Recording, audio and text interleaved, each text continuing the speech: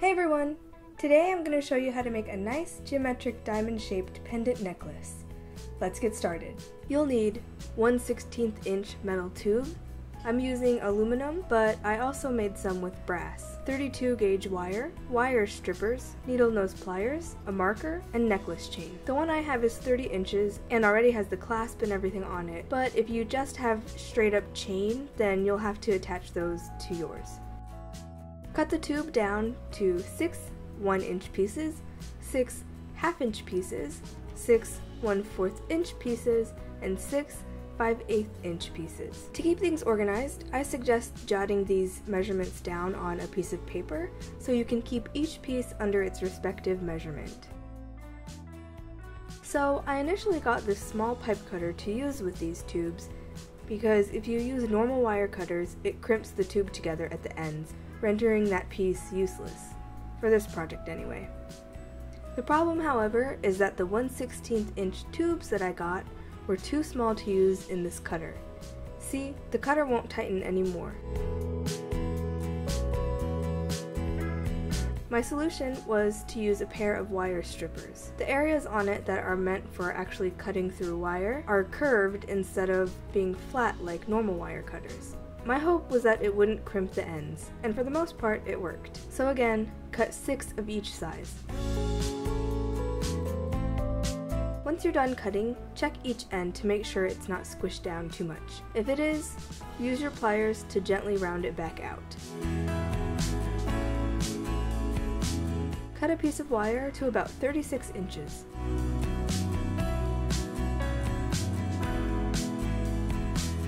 Find the midpoint and fold it in half.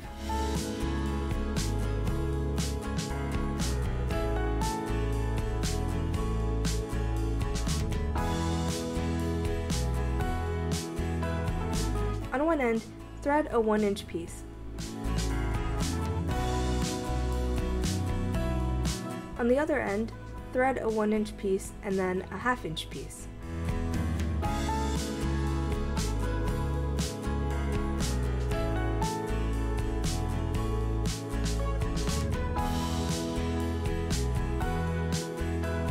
Thread the first piece of wire through the half inch piece and pull it tight.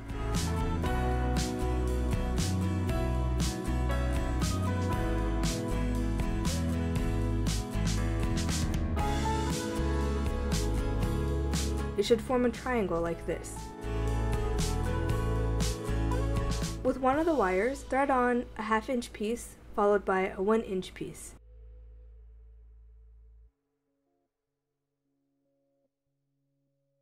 Thread it back through the first 1 inch piece.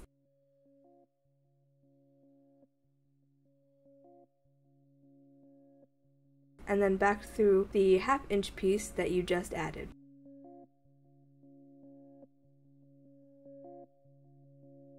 Repeat this, threading it through the 1 inch tube and then the half inch tube until you have only one half inch piece left.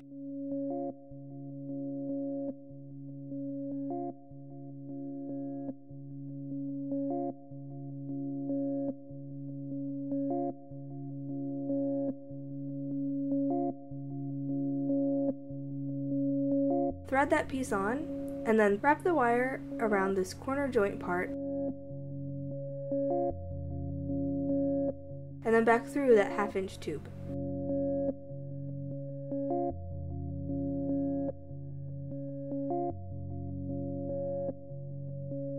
Make sure to pull the wire completely through. You may need to use some needle nose pliers towards the end when the wire starts getting short. By now, the wire should be shorter than an inch, if not, then trim it down to about half an inch to 3 fourths of an inch, and then stick it into the 1 inch tube nearest to it. Use the pliers to help you get it completely in the tube. Now for the top. On the remaining wire, thread a 1 4 inch piece, a 5 8 inch piece, and then another 1 4 inch piece. And then thread it through the next half inch piece.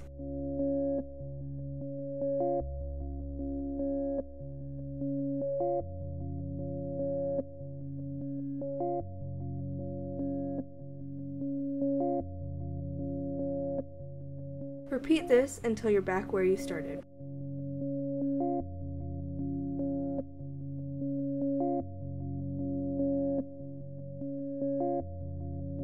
Then thread up through the 1 4 inch tube.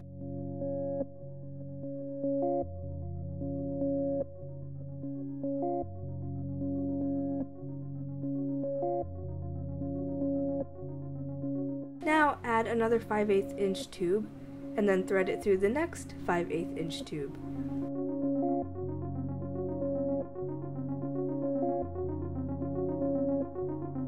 Then add another, then thread through, add another, then thread through until you've used all the pieces and it looks like a diamond. When you reach the end, loop the wire through the corner joint and then thread it back through the 5 8 inch tube like you did earlier with the half inch piece.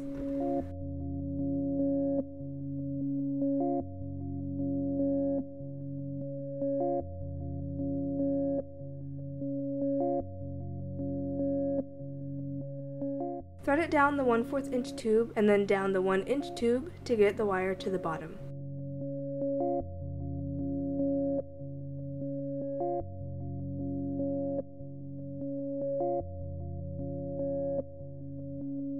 This part will have a little gap, like this, and the wire that you just threaded down should be coming out of one of the tubes on either side of the gap. Stick the wire back through the tube on the other side of the gap, pulling it tight to close it. Then thread it back up through the 1 4 inch tube to get it back to the top. Wrap the wire around that corner joint.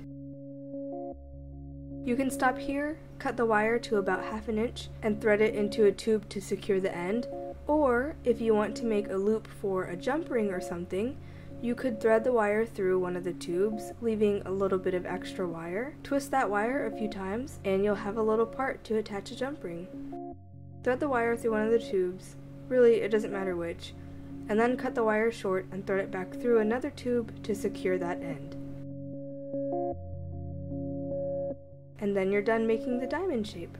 Just thread it onto a necklace chain and you're done. As I mentioned before, this chain that I got already had the clasp, so if you're using normal chain, you'll have to add that.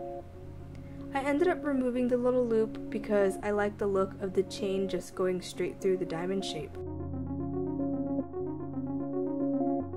Here's the one that I made in brass. I love how this turned out. It pretty much turned out exactly like how I was picturing it in my head, which is pretty nice. I made this to be a long pendant necklace, but really, there's nothing stopping you from making it into a short necklace. I also think that it would be cute to make two of these and then turning them into earrings. In fact, I might end up doing that later.